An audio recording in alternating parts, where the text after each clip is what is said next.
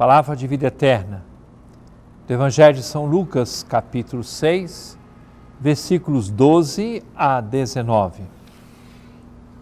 Naqueles dias, Jesus foi à montanha para rezar e passou a noite toda em oração a Deus.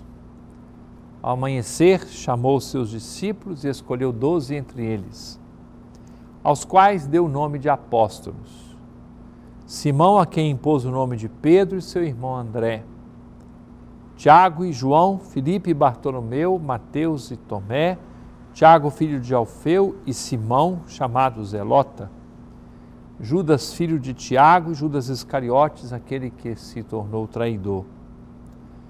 Jesus desceu da montanha com eles e parou num lugar plano. Ali estavam muitos dos seus discípulos e grande multidão de toda a Judéia e de Jerusalém, do litoral de Tiro e Sidônia vieram para ouvir Jesus e serem curados de suas doenças. E aqueles que estavam atormentados por espíritos maus também foram curados. A multidão toda procurava tocar em Jesus, porque uma força saía dele e curava a todos. Impressiona-me o fato de Jesus ter chamado um grupo tão diversificado eles são escolhidos do alto. Nosso Senhor está com eles lá no alto da montanha.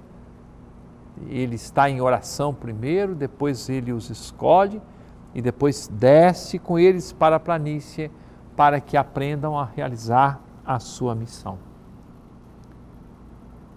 E o Senhor escolheu pessoas muito normais, muito humanas, com as suas qualidades e também com os seus defeitos deu-lhes uma missão, entregou-lhes uma responsabilidade de saírem pela terra fazendo bem, curando as pessoas, pregando a boa nova do Evangelho.